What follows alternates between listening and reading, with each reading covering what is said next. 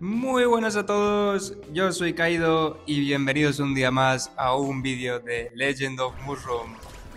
En el día de hoy os traemos la clase más esperada de todas, el Rey Demonio. Vale, antes de empezar con esta clase quería hacer un apunte, el clan ya tiene Discord, ¿vale? Clan de Discord interservidores donde estaremos apoyando a todos, comentando temas de guerras, de clanes y sobre todo ayudando a subir de poder a todo el que necesita subir de poder, ayudando con builds, ayudando con mascotas, ayudando con todo lo que podamos a todos. En la descripción del vídeo os dejaré el enlace al Discord, ¿vale? Os esperamos por ahí. Dicho esto, entramos con el tutorial. El rey demonio, ¿en qué se basa? En ataque, aturdimiento y crítico de habilidades. ¿Vale? El rey demonio es un mago como el vidente, pero a full ataque. Full ataque y crítico de habilidades. Esto es lo más importante que tenemos que saber sobre el rey demonio. ¿Vale? ¿Cómo tenemos que buildear el set de habilidades? El set de habilidades es muy importante la vida, el escudo, ¿vale? La vida y el escudo para este personaje. Después, los meteoritos, ¿vale? Que aumentan un 30% el daño de tus propias habilidades durante 5 segundos. Este es muy clave para él en niveles bajitos. Después le podemos acompañar con un golpe dimensional o con el espera. ¿vale? Esta bomba de oros no le vale para nada y bala de limo tampoco, en absoluto. Después, para niveles un poquito más avanzados, el desarmar bien, aturdimiento bien, aunque el propio personaje aturde bastante, pero le viene bastante bien. Aquí podéis variar con el aturdimiento según el nivel que tengáis estas la bomba de humo también es muy buena la bomba de humo. Seguimos con incursión de rayo, que te proporciona un escudo de invulnerabilidad, ¿vale? Este es muy bueno. El ataque de clon y, por último, la matriz de tarot. Como dije en el último vídeo, no quiero entrar en detalles con estas tres, porque como, como vemos de momento ni siquiera están disponibles. ¿Vale? Pero en todo caso nos quedaríamos con Luna Carmesí, es la más indicada para él. Vamos con el set de mascotas. El set de mascotas es muy recomendable llevar elfos, espíritus y gatos. ¿Vale? y dragones. Vamos a ver, vamos a, crear aquí un plan desde cero. Y lo suyo sería llevar un espíritu, un gato, un elfo. Y en caso de no tener ninguna de estas, podéis optar por el, por el dragón mecha y por este dragón.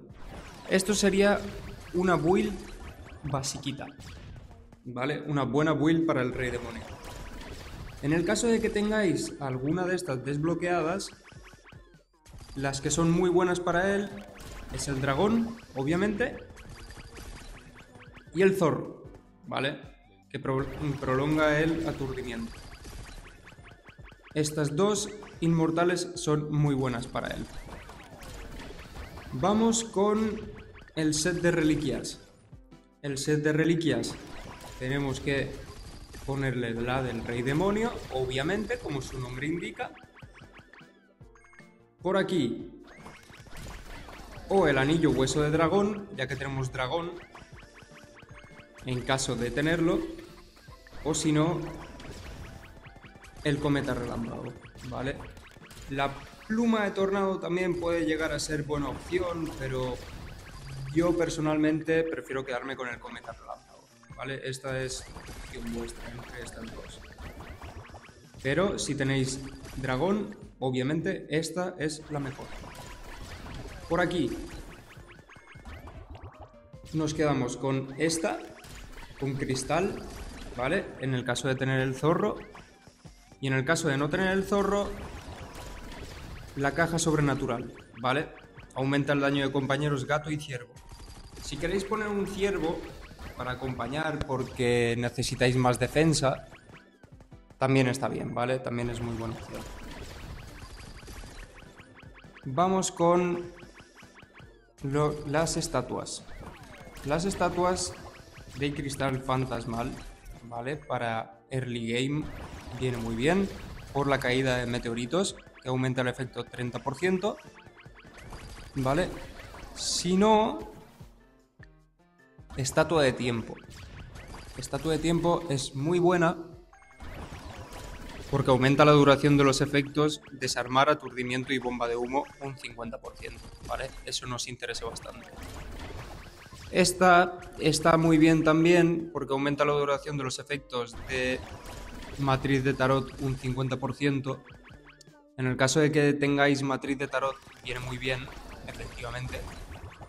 Pero yo en lo personal prefiero quedarme con estas, porque equiparía dos de estas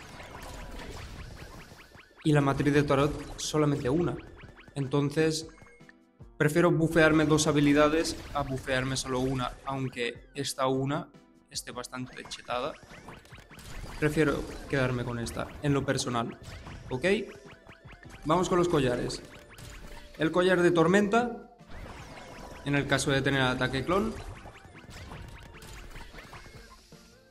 El alma heroica, ¿vale? Para la incursión de rayo. Y el collar del abismo. Cuando tengáis luna carmesí, si no, de bastante poco os va a, seguir, os va a servir, porque Gruñido de Dragón es para Berserkers y Flecha del Viento es para ballesteros. ¿Ok? Los libros, igual que siempre. Los tres del medio, PvE, el primero PvP y el último también. Aquí yo sigo quedándome con el libro de betas. ¿vale? Es para mí en lo personal es bastante mejor para este personaje justamente que el libro llameante. Pero aquí podéis variar vosotros, lo que vosotros preferáis, ¿ok? Con esto finalizamos las reliquias y nos vamos al set de almas. El set de almas es un poquito complicado, ¿vale? Porque todavía no desbloqueamos las rosas y el rey demonio es una clase juega muy en late game. Que el poder real de este personaje vendrá cuando ya tengáis la clase en el despertar, ¿vale? Entonces, buscaremos en las almas daño crítico y daño de ataque básico. Daño de ataque básico y daño crítico, ¿vale? Esto es lo que estaremos buscando para el rey demonio. Cuando podamos desbloquear las rosas, ojo al abismo solar es la indicada, ¿vale? Y la otra es hoja ardiente. Pero hasta que no las tengáis desbloqueadas, estaréis un poquito nerfeados con este personaje. Entre comillas, ¿vale? Entre comillas, porque es un personaje que está muy fuerte ahora mismo. Entonces, con esto finalizamos el tutorial por hoy. Os esperamos por el Discord, todo el clan.